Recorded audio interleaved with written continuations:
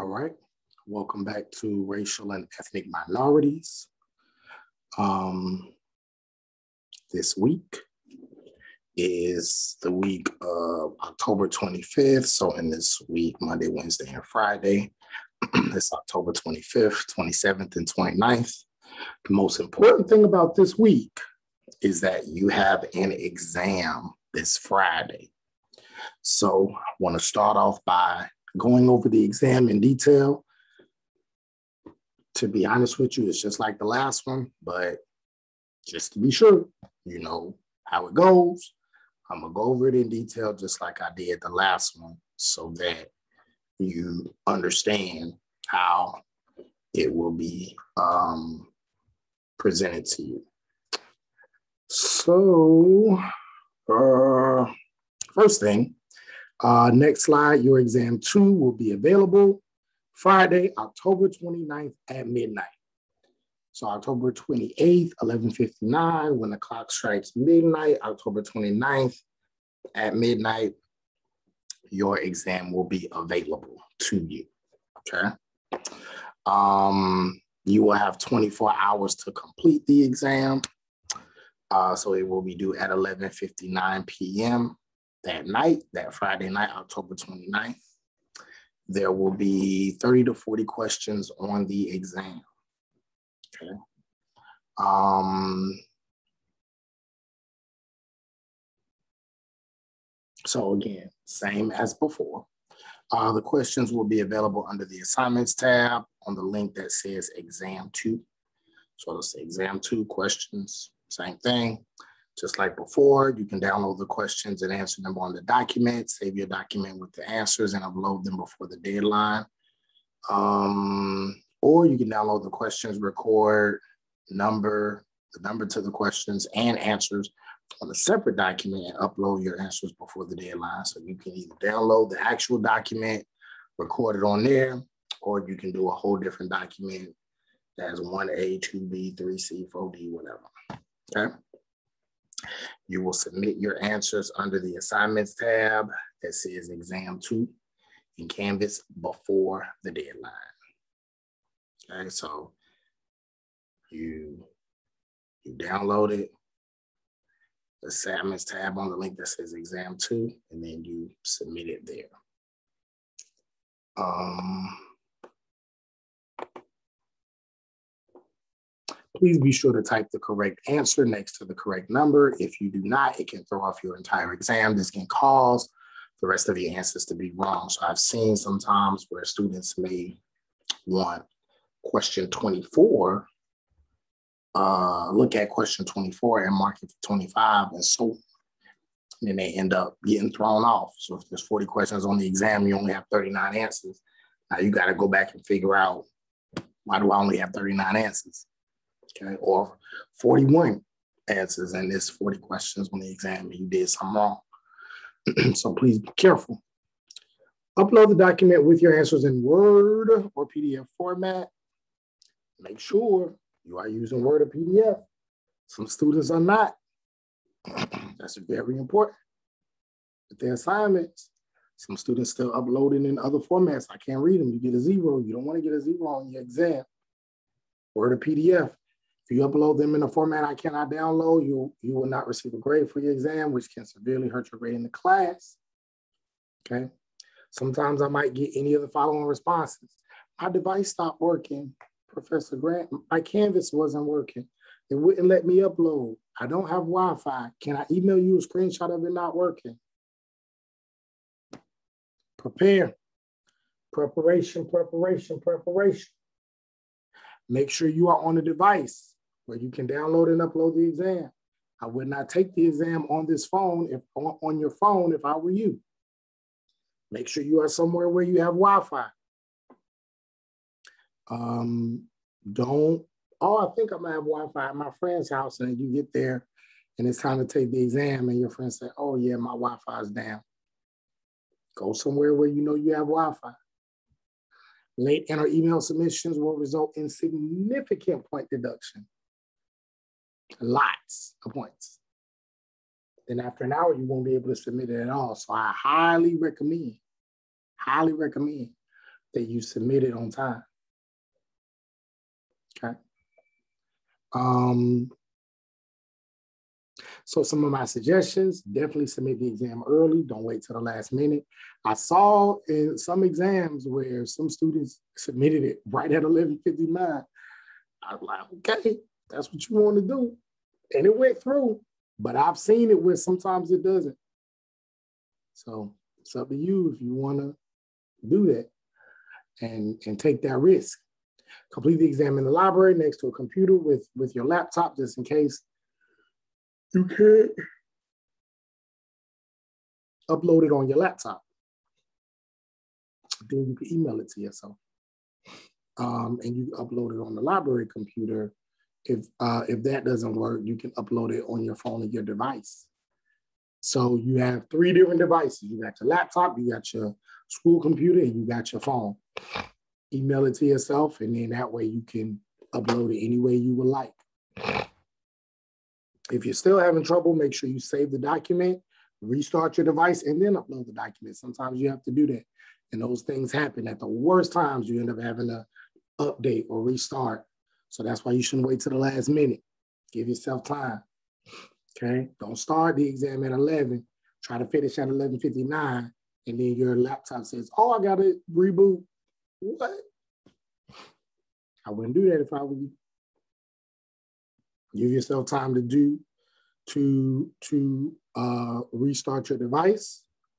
So don't do it one minute before the deadline. If you have any questions, feel free to reach out to me. If you have any questions about the topics or the exam or what to expect, reach out to me.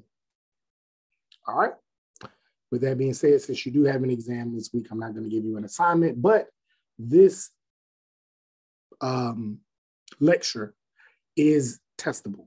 So information from this lecture will likely be on the exam. All right. So let's go to the next slide. So um, Asian Americans. If we look at this uh, collage, we see that Asian Americans and people who identify as Asian Americans comes in many different uh, ways, right? Many different ways, many different looks. Um, they're uh, people who are considered Asian or Asian American, um, oftentimes come from many different countries, right? So it's a big racial group that we are talking about. Uh, this notion of the myth of the model minority, and um, very interesting. And although they come from different walks of life, different countries, uh, different ethnicities, and oftentimes have different interests, um, there are some things that Asian Americans oftentimes have to deal with uh, when it comes to race, particularly race within the US context. Um, so before we go straight into the topic, I want to, uh, I really like this quote. I think this quote does a really good job of setting us up for this discussion, this conversation. When people rely on surface appearances and false racial stereotypes rather than in depth knowledge of others at the level of the heart, mind, and spirit, their ability to assess and understand people accurately is compromised. Okay. So it's very important that when we do an analysis of people, it's important that as much as we can try to get to the heart, the mind, and the spirit of anybody who we come in contact with using surface level appearances, using using racial stereotypes, um, gives us an inaccurate view of who people really are. Okay. Um, so this notion of the model minority, this model minority myth, uh, again, really came about during the civil rights movement. I know we talk about this movement a lot, but this was kind of uh, a time when notions around identity, identity construction, politics of identity really started to take shape. And oftentimes we think about it in terms of black and white, right? Civil rights movement, black leaders, Martin Luther King, blah, blah, blah, blah, blah. John F. Kennedy, blah, blah, blah, blah, blah, right? Think about that. Oftentimes, we don't talk about other racial groups that are now benefiting from the civil rights policies, but are also subject to the racism and mistreatment of people based on race. See, first, when we talk about race in the US context, largely we talk about Black and white because those are the major racial groups in the country for, for a good chunk of time. But as we move into the 20th century and as the 20th century begins to emerge and change, and as the demographics of the, of the country begin to emerge and change, we start to see that the United States is becoming much more of a melting pot. Some people say it's not really a melting pot as much as it's a fondue. uh, maybe like a, a, cake where you have layers, but they don't really melt necessarily. Um, actually, a fondue more kind of melts, maybe. But uh, because there's still hierarchies, right? But there are other cultures and racial groups that are represented.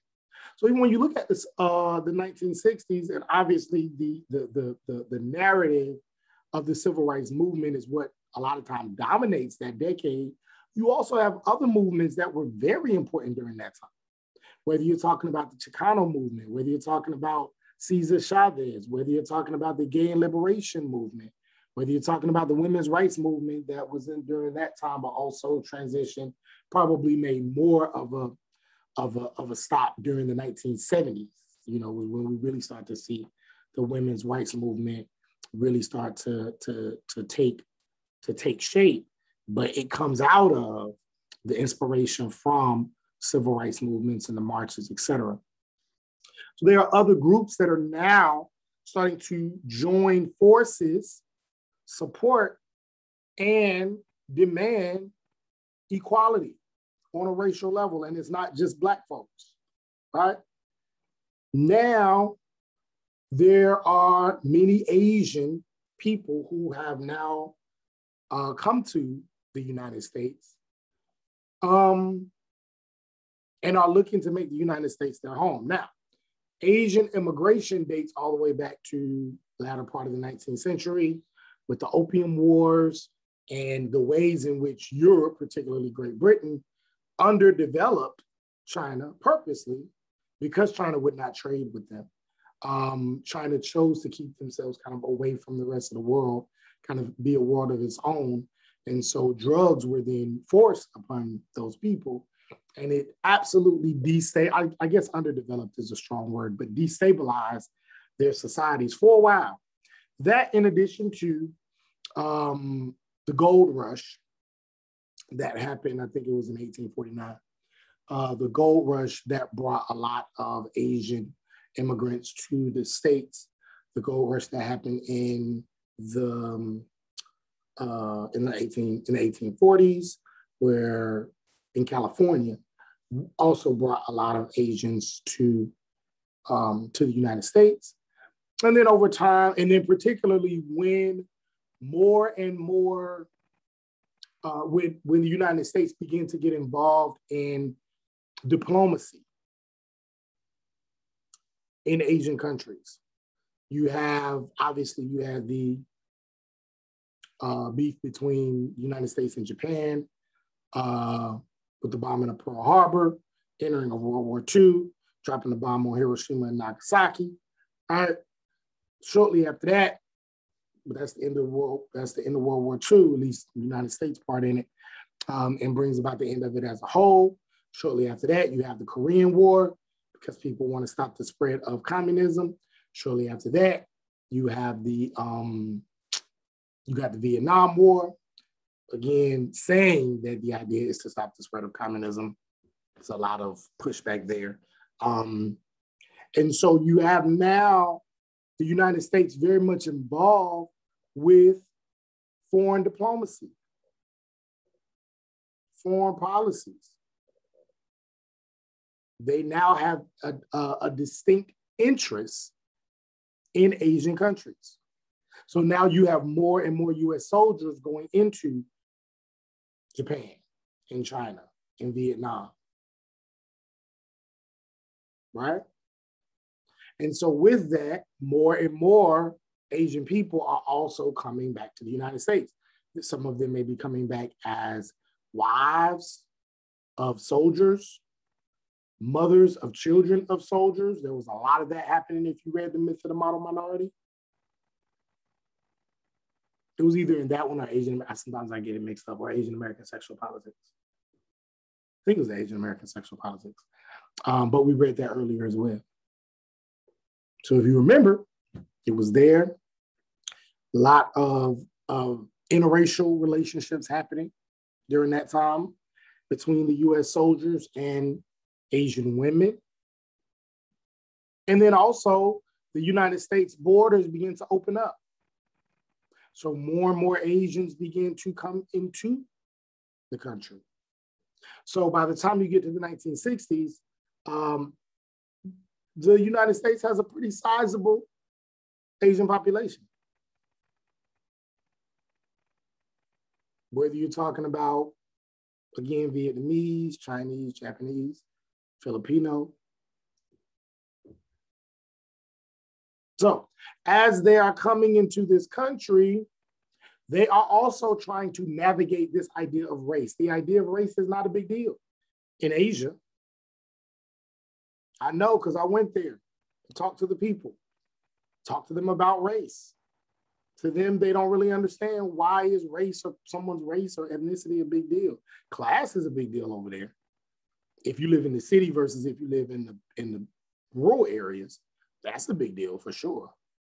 But race, at least, and I mean that's not completely true because there have definitely been African people who have been mistreated by um, Asian police. That was a whole thing last summer, right? But not to the extent to which we see it as an issue in the United States. So when they get here, they're trying to understand, okay, where, where do I fit? Clearly, I'm not white. We don't want to treat it like the blacks. We don't want to be treated like the blacks. We're not black, we're not white, we're Asian. Where are we going to fall in terms of treatment, in terms of opportunity?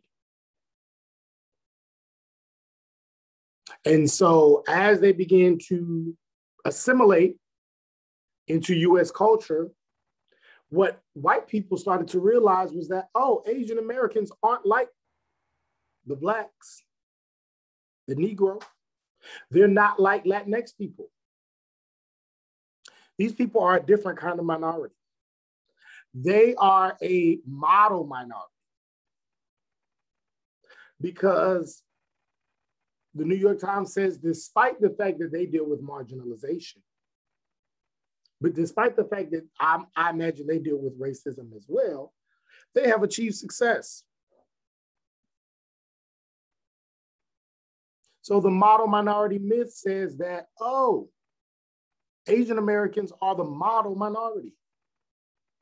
Black people, if you want to know how to be successful in America, look at the model minority, which is the Asians. Latinx people, you want to know how to be successful, look at the Asians. Native Americans, you want to know how to be successful, look at the Asians. Look at how successful they are. Look at how much they are achieving success academically. They, they come over here and within a few months, they have businesses, they have stores, they support each other.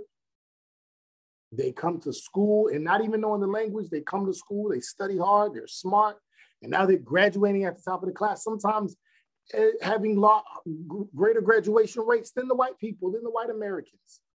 Look at that. Look how much America opens up and loves minorities. Because the Asians aren't complaining. They're not out here marching. They're not out here starting movements and this and that for what?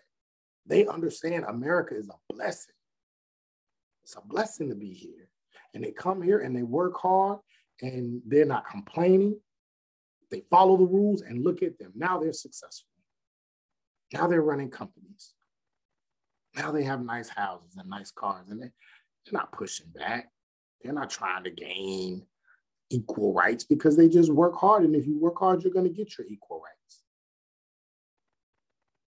To all you other minorities, look at the look at the Asians. They're gonna they're the ones you need to model yourselves after, not trying to march and protest. That's the ultimately the idea of the model minority myth. Now, keep in mind when the person did the study for this idea of the model minority, it was only a few Japanese immigrants that they studied, but they took this small study, made sure that the conclusions fit with their preconceived notions, and ran with this idea of the model minority.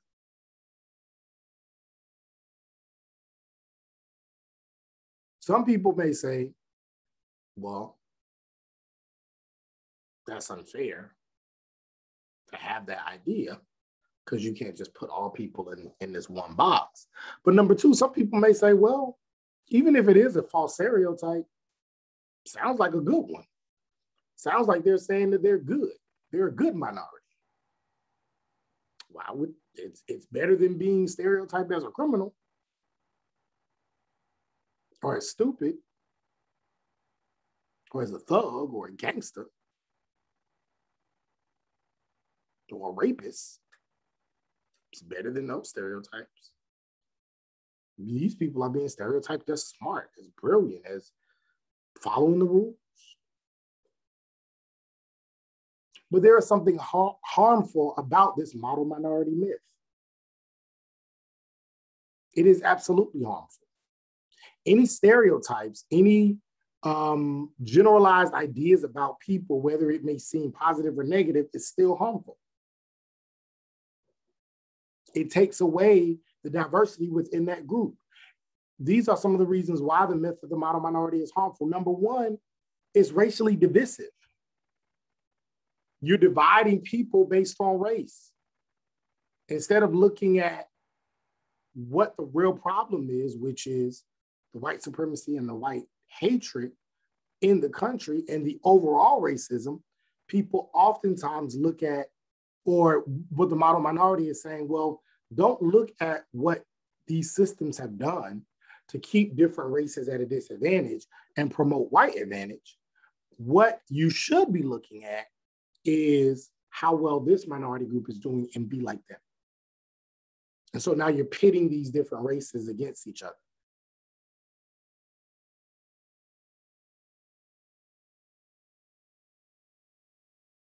The idea of this was to suggest that everybody can make it, that America was the land of opportunity, it was this land of meritocracy.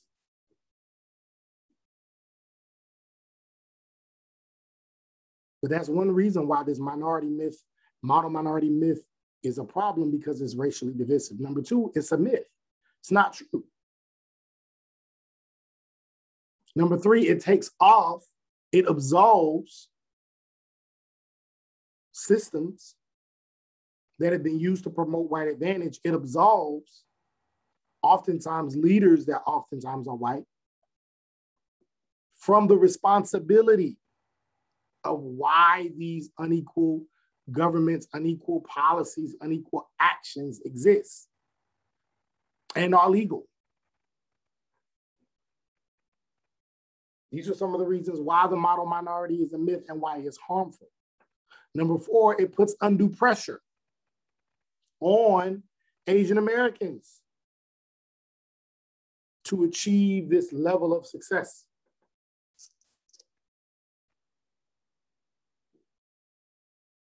So the model minority is an absolute myth. It's not true and it's harmful.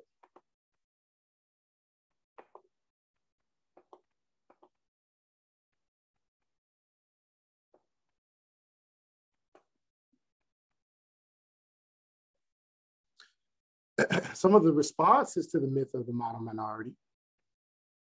Most Asian Americans seem to accept white as mainstream, average, normal, and the frame of reference for higher social positions. Now, this is not me.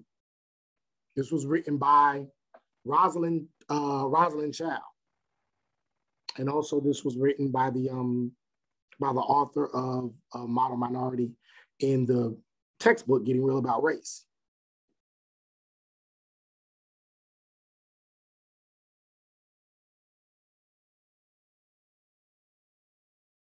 So a lot of Asian Americans see white people as mainstream, as average. This is the standard that we have to look up to.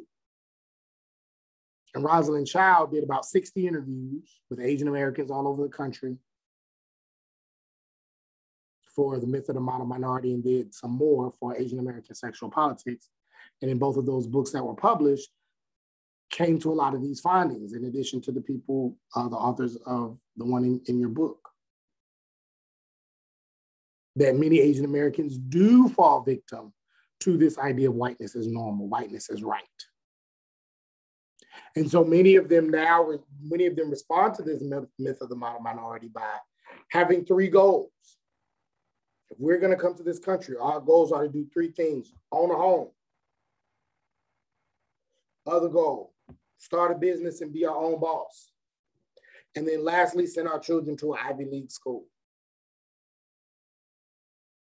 Those are oftentimes the, the main goals of many, not all, many Asian Americans who come to the United States.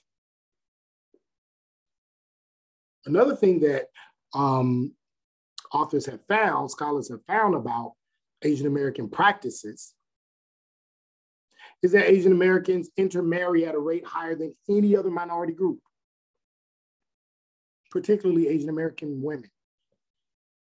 They are more likely to outmarry. And when we say outmarry, what we're saying is marry outside of their racial group than any other minority group. In fact, I think I, last time I looked at the statistics, maybe a year two years ago, the statistics said that Asian American women were more likely to marry outside of their racial group than any other demographic. Black women were less likely to marry outside of their racial group than any other demographic. Then, right above them was Black men. And white men I think were more likely to marry inside their racial group than any other demographic. So these are just some of the rate of the interracial marriage statistics that I just, you know, sometimes I just kind of look at quantitative data just to see what it's talking about.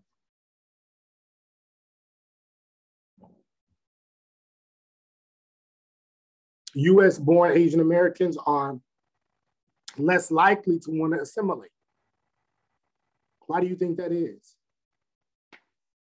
Why do you think that Asian Americans who are born in the United States are less likely to want to assimilate or believe that whiteness is the normal or believe that the main three goals are own our own, be, be your own boss, send your child to an Ivy League school and marry outside your race? Why are US born Asian Amer- Americans less likely to assimilate in these ways. Oftentimes, because they recognize the disadvantages associated with being non white, non white, more than their parents do. Oftentimes, their parents came from the actual country that they were living in. And when you're living in another country, you don't see what goes on on the inside in the United States. So from the outside, it looks amazing. A place of freedom and democracy, people from all walks of life, eating, playing, working, having fun, fighting for their country. What an amazing, amazing place. You can criticize the president without worrying if you're going to lose your life. Wow. This is incredible. I need to go here. But then if you grow up in the United States, if you were born and raised here and you've gone through the school systems, you've lived in different neighborhoods, you've experienced certain things, then you're more likely to say, oh, it's not like it is on the brochure. The United States is complex. The United States has a dark history. There are things that go on in this country that a lot of people don't know about. And a lot of people don't want a lot of people to know about. If you're born in America, no matter your racial background, you're more likely to understand the complexities of race, the inequality of race, more so than your parents, especially if you come from another country. Because growing up here, that is when you start to see it and it makes starts to make sense.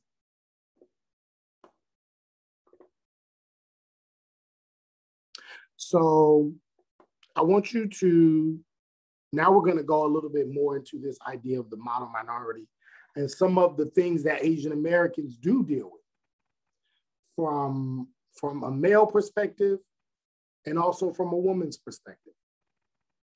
So go ahead and click on this link, really quick video, and then we're going to go to uh, the next slide. All right. So as you can see, um, people have these images around particularly Asian American men. And this is something that Chou talks about in the reading, right?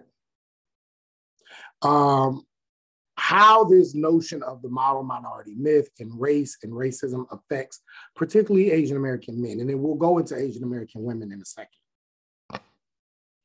Before we get into that, though, we need to have a conversation about what is masculinity, period. So, as we're on this next slide, I want you to think about what is masculinity in America, or what are the characteristics of manliness in America? When you think about what it means to be a man, how people uh, characterize men. What are some things that you think about?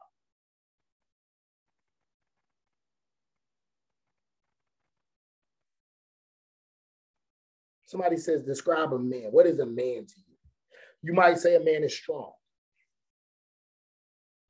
You might say a man is tall or big, even if he's not tall, big in some way, muscles. You might say a man doesn't show emotion. Men don't cry. A man has money. He's financially stable. He can take care of his family. If he doesn't have money, he can get money. A man is a protector. A man is a provider. How do people show masculinity and manliness? Sometimes it's through violence. You want to be with somebody who can be violent if they need to in order to protect you. Another example of manliness, some people may say a beard. Nowadays, we're in this, you know, there was a time where beards weren't cool. Now they're cool. So if a man has a beard, that sometimes it's looked at as being masculine. Athletics. You can run, you can jump, you can play baseball, soccer, football, basketball. Muscles. All of these are characteristics of manliness, ways in which masculinity is measured in the United States. So with that being said, let's look at this next slide. These two gentlemen. Do y'all know who these two gentlemen are?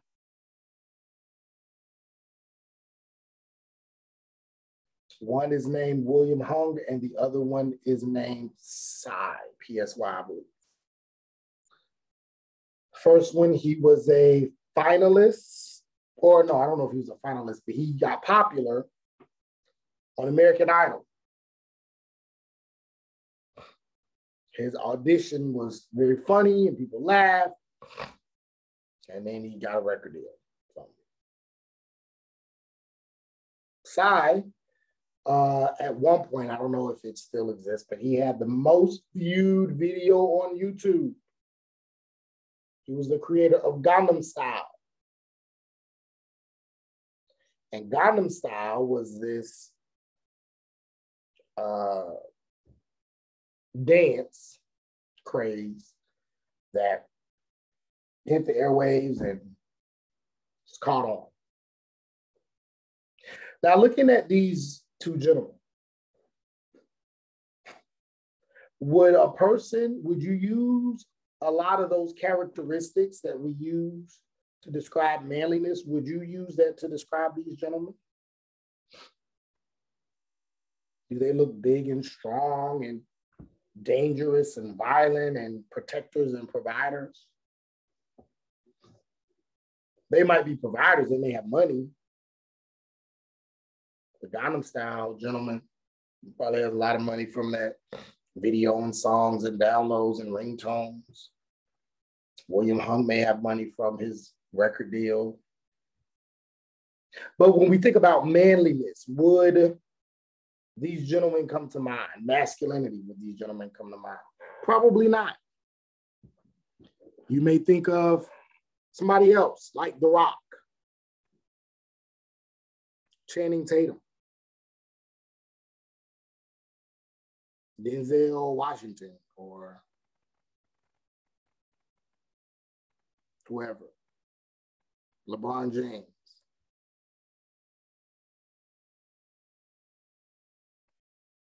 People are considered manly people who give off masculinity, traditional masculinity. And so, with that, we discuss what we call Asian American male constructions, which are ways in which masculinity is constructed in our society. And the ways in which Asian American males are constructed are oftentimes at, at a disadvantage or in, in uh, is a complete opposite to the way in which masculinity is constructed. Masculinity is seen as strong. Asian Americans, males aren't constructed as weak, physically weak in the in the media. Asian uh, men, masculine men, when they come into a place, you're supposed to think twice before you run up. You're supposed to think twice before you think about hitting them. Or you think about saying something that's disrespectful. Asian American males are oftentimes constructed as non threatening. Oh, he's not going to do anything. He's a wimp. He's a squeak. We're in the 1960s or 70s, pip squeak or whatever. He's a wimp, he's a punk, he's a this, he's a that. Men are have this masculine vibe but Asian American males are often constructed as feminized, soft, can't fight, can't defend themselves. Again, what we're talking about in popular culture and media, can't defend themselves, smaller in stature. So these are the ways in which Asian American men are constructed in US society. Now, if we go to the next slide, we see that there are some examples of Asian American men that break this mold, that function outside of the stereotypical constructions.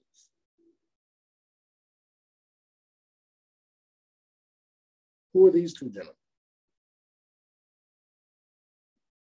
If you don't know, the gentleman who has the China shirt on.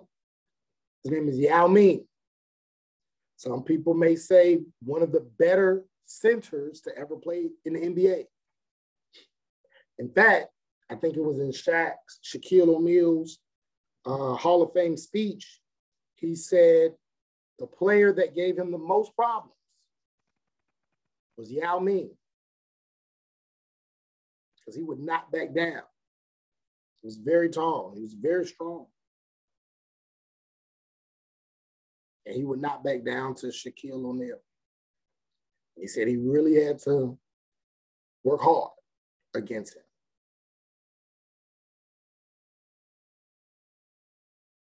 This other gentleman is Jeremy Lin. He played for the for the New York Knicks for a while. Gr- really good. I wouldn't say great, but he was a good ball player. How do they break the mold of this Asian American male construction that we were just talking about? well, number one, they play in the NBA. And in order for you to play in the NBA, people who are people who play in the NBA are oftentimes these very masculine people because they're very athletic, they're strong, tall. Even the guys that aren't that tall are tall compared to the average person, like Steph Curry. I think he's still six foot, maybe six foot one, so still pretty tall. He may not be Yao Ming tall, but still tall. But athletic, strong, can run, can jump.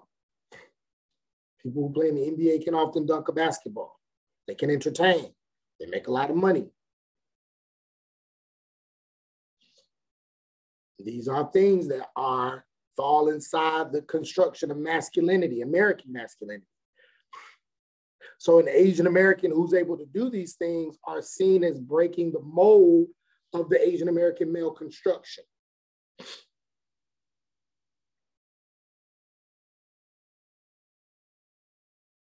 Unfortunately, we don't have a lot of examples of this in the media.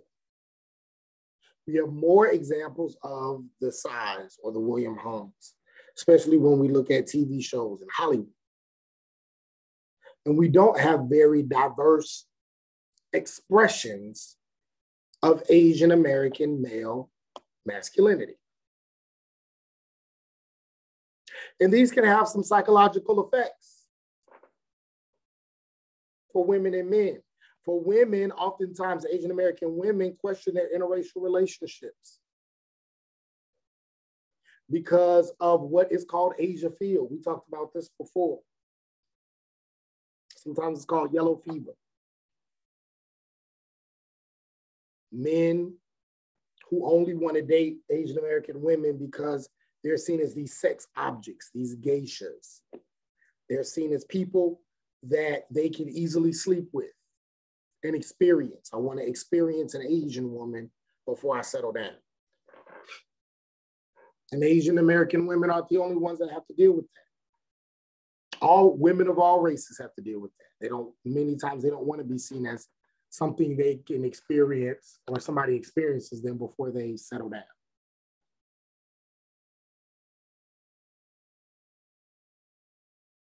Asian American men question their interests because of these effects of racism. Also, when we go to the myth of the model minority, we see that there are these negative consequences of people seeing Asian Americans as these model minorities, as the people that everybody should look to. Because number one, it makes them seem passive. Look at them. They just have their head down. They do what they're supposed to do. And then now they're on top, as if they don't have feelings, as if they don't feel race and racism, as if they don't get angry, as if they don't have a right to protest, as if they don't have a right to demand equality. So oftentimes Asian Americans get alienated and isolated from white people because of racism, but then sometimes they may get alienated from other racial groups because they are seen as the model.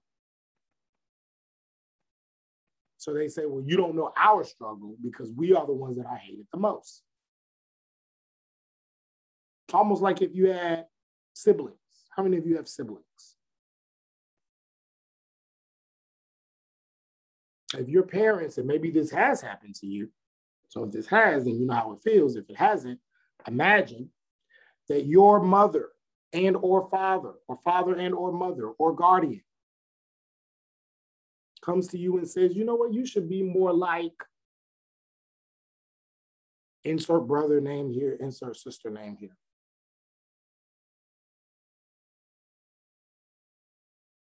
How does that gonna, how's that gonna make you feel? You'll probably feel like Am I not good enough? Is who I am not valid? Valid? It's not fair. So that's one thing. Then it may cause a rift between you and your sibling. Well, clearly, mom likes you more. Clearly, dad likes you more than they like me. And it's not the sibling's fault that the parents say that. They may love you, but now you're looking at them like, they like you more. I don't like you. To the sibling that they say, I feel like, or you need to be more like your sibling to that sibling, he or she may be saying, I don't feel that way. And now they're being alienated from you for something that they don't even believe. Also, now they have this overwhelming expectation to achieve. Oh, I guess I'm the golden child. That means I gotta get all A's and I gotta make sure I make the, the, the football team and the soccer team and the cheerleading squad and make sure I go to church or I go to my place of worship and make sure I have my community service hours and make sure I get into a good school, make sure I graduate, make sure I go to grad school or law school or med school or wherever, make sure I do right. Now they have this pressure. Also, racism that occurs to Asians sometimes is seen as less important. Asian people go through racism, eh, they're the model minority. Nobody cares. They're not going through things black people going through or Latinx people going through. Black immigrants literally getting whipped at the border. Latinx people are getting turned around, forced to go back to their country, arrested. Black folks getting killed in the streets by law enforcement, unarmed. These things aren't happening to them, so it's less important. Sometimes this may happen because of this model minority myth. Oftentimes, Asian Americans are subject to harassment and bullying. They might miss out on opportunities. Also, they experience higher rates of stress because of these issues. So, this model minority myth is not something that should be perpetuated. It's not like it's a good thing it actually has these very negative consequences. Also, while Asian American men have these negative views of being less masculine, sometimes they are subject to the stereotypes that are hyper masculine. So either they're seen as too weak or they're seen as terrorists, i.e., the Virginia Tech shooter i.e., Saddam Hussein, Osama bin Laden, anybody from those areas of the world, India, Saudi Arabia, Afghanistan, Iraq, anybody from those areas are seen as what? Terrorists. So it's either they're too weak or they're out and out terrorists and killers. And people love to talk about the violence that is enacted by Asian countries or in the United States, but don't say much about the violence by the United States on those countries. If we're going to tell the story, we need to tell the whole thing. Not to say that any type of terrorism towards America is okay, because it's not. And any country should have the right to defend themselves if they are terrorized. Any country, including the United States. But also, if ever the United States terrorizes another country, which they have, that country also has the right to defend itself.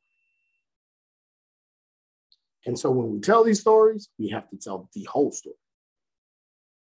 And it is important that we do that so that at the very least, even if we're not historians or people who study foreign policy, at least it can cause us to lessen the general, generalized stereotypes that we have about people.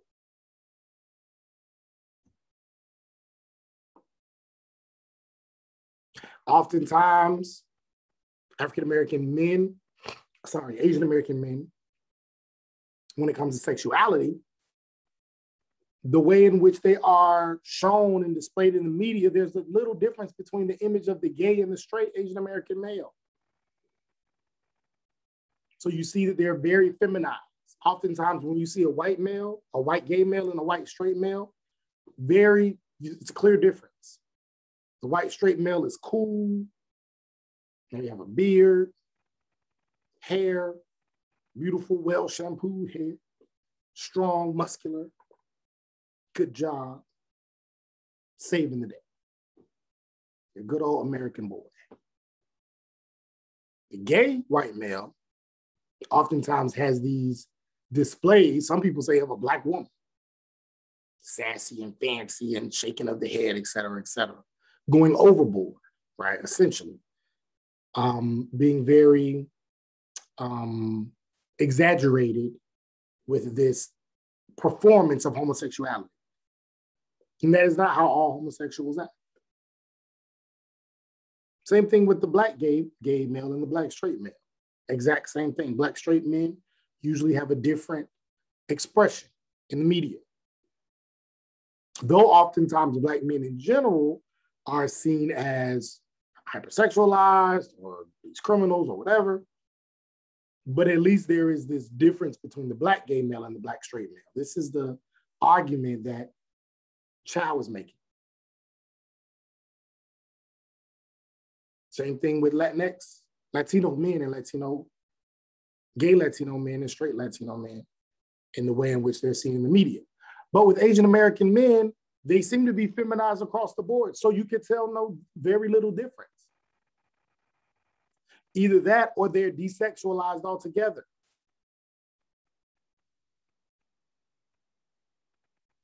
So the handsome white guy in the movie gets the girl at the end. The handsome black guy gets the girl at the end.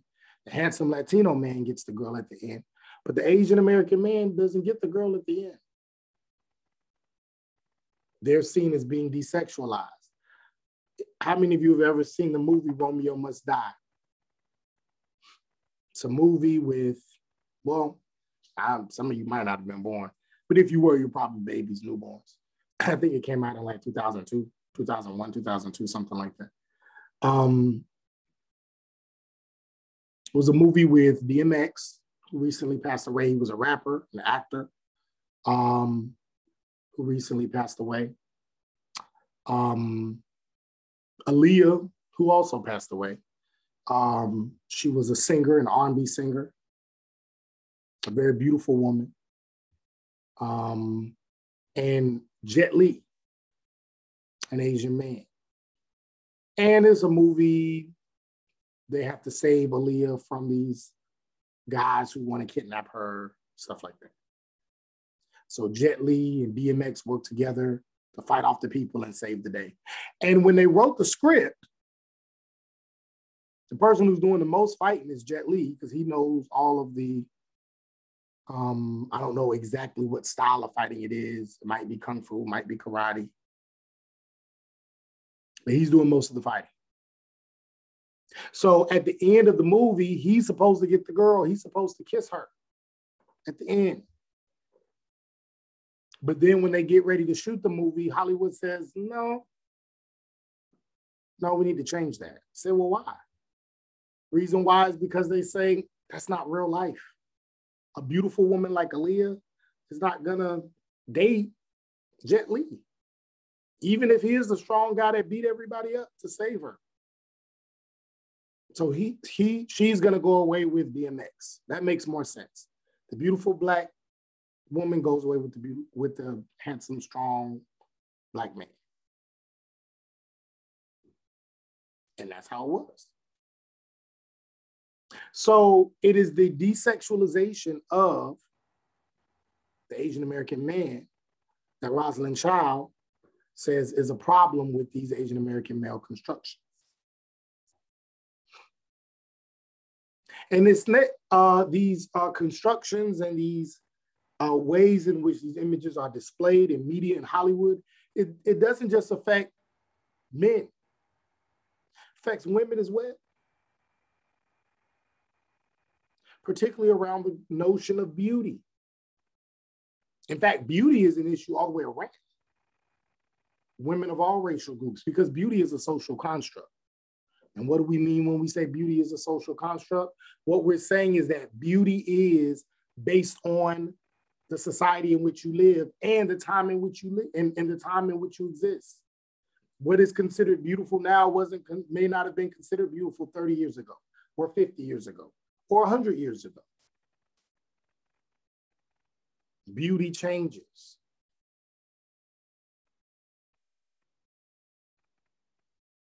So beauty is a social construct. And then what is considered beautiful in one country or in one society may not be considered beautiful in another country or in another society.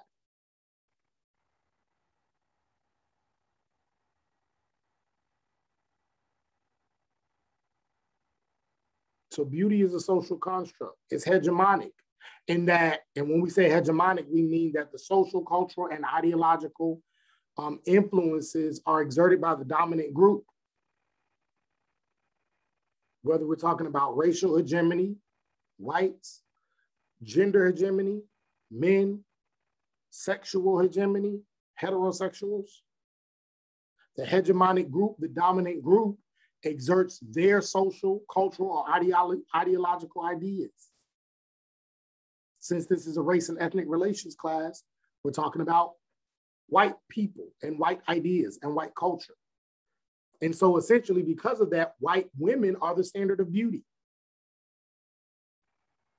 If you were to Google beautiful images or whatever, oftentimes, sometimes you will see more white women, or if you don't see white women, if you do see women of color, you see women of color with white beauty standards. Long hair, lighter skin, thinner noses,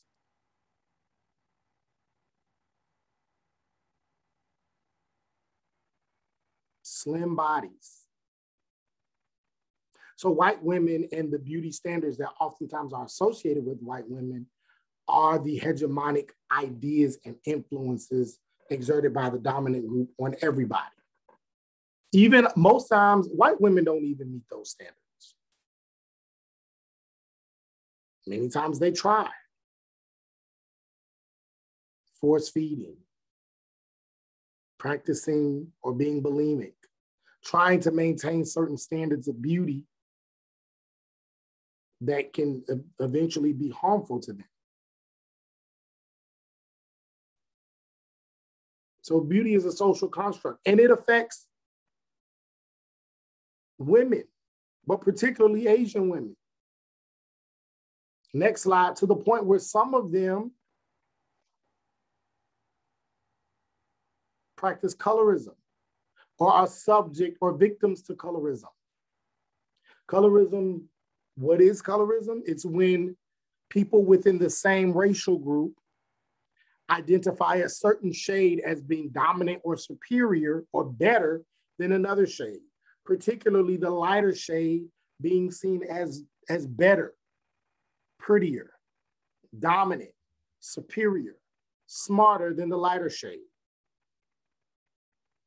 Examples of this can be found in dating back to slavery in African American communities where the darker so-called slave would be in the field and the lighter so-called slave would be in the house, causing, some people said it caused friction between the so-called slaves. Massa loves you better because you're lighter skinned, you're in the house, or you are mixed race because you are a product of whiteness, white people, oftentimes through rape. And so it was this colorism that did and sometimes still exists in the Black community. But it's not just in the Black community, it's also in Asian communities as well. I remember when I visited China some years ago, and I was excited I'd never been to anywhere in Asia. But now I'm a sociologist, I'm going here for research, and I get off the plane and I'm walking, and because I know what to look for, and I see things that I probably would not have seen because my sociological imagination has been activated. I see things in a way that some people don't. And immediately I began to look at all of the images in the airport. Beautiful Chinese women. But they were all very, very, very, very, very light, almost white. And I said, huh, is do the Chinese people look like this? Are they this light?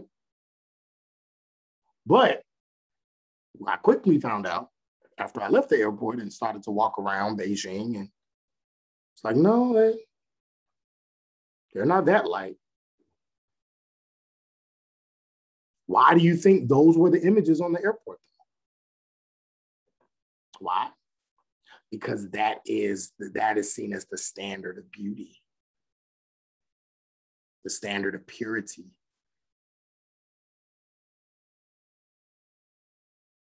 That is because that's what people believe people want to see. White people and others who, who are subject to colorism and prefer lighter skin. Definitely evident in, in, in Indian society to the point where coloring your skin, skin bleaching treatment is a multi-billion dollar industry in India.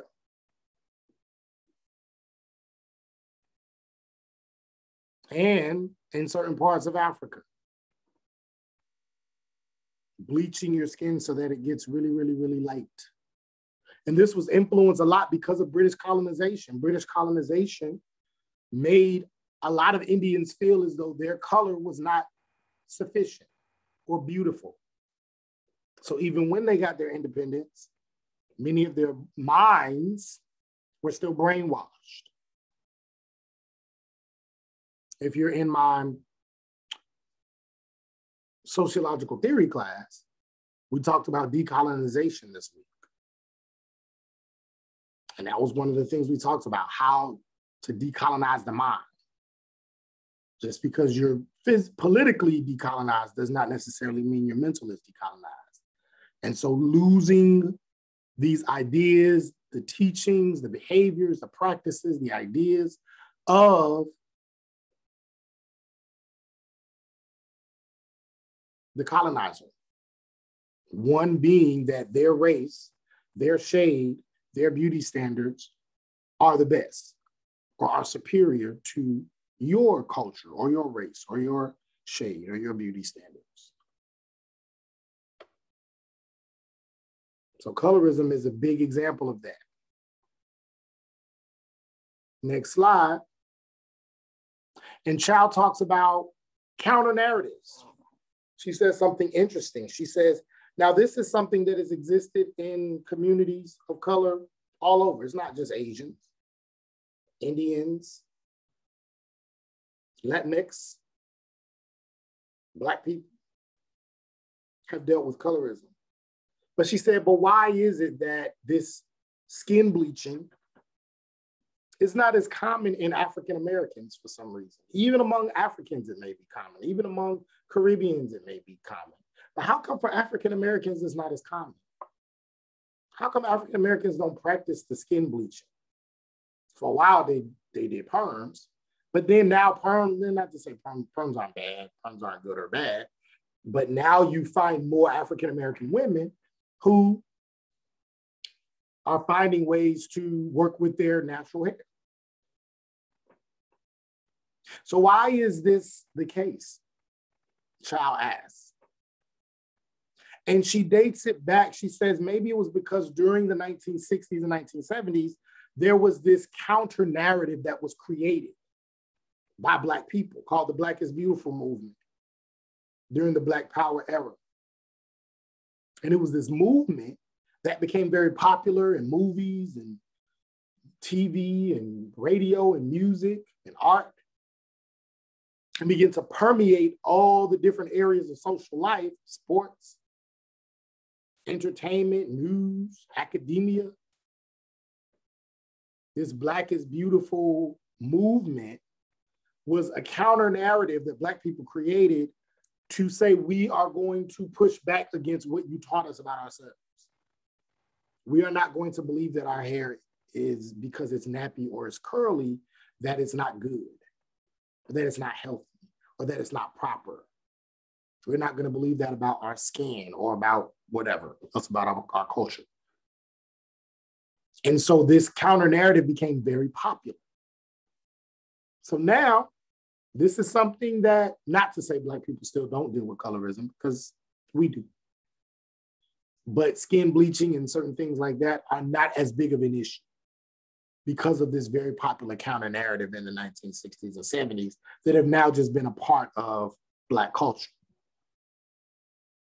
Natural hair movement, same thing. I was in college when that became, when that got real big. It's natural hair movement. And now, again, something very common in the Black community. And she argues that Asian Americans should probably adopt this same strategy.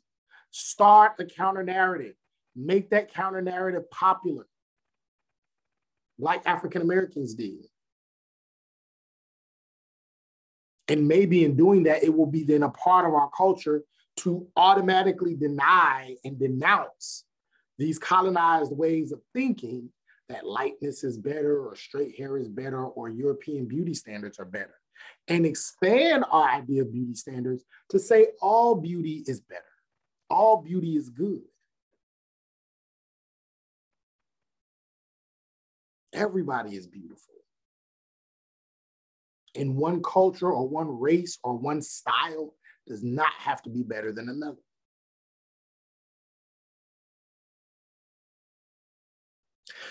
So coming to the end, Asian Americans are saying, I am not your model minority.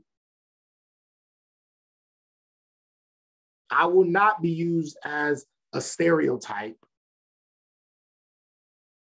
But we can look at our cultural differences and use them as themes to understand how to get to know one another.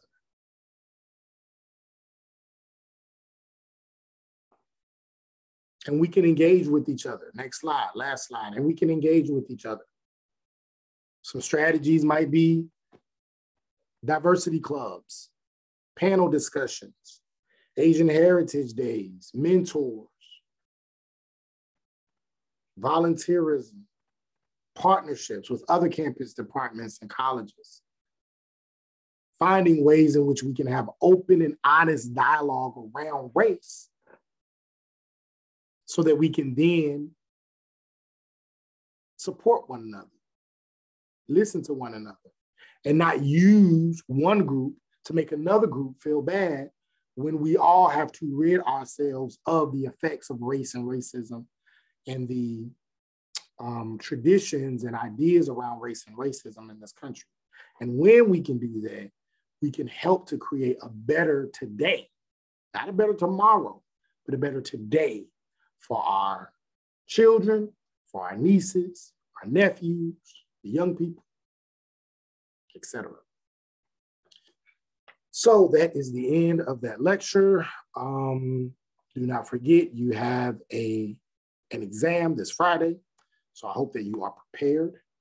Um, with that being said, have a great week. Have a great weekend. If you have questions about the exam, feel free to reach out to me during office hours, or you can email or inbox me, and I'll be more than happy to answer any questions you may have. And with that being said, I hope you have a wonderful, wonderful weekend, weekend.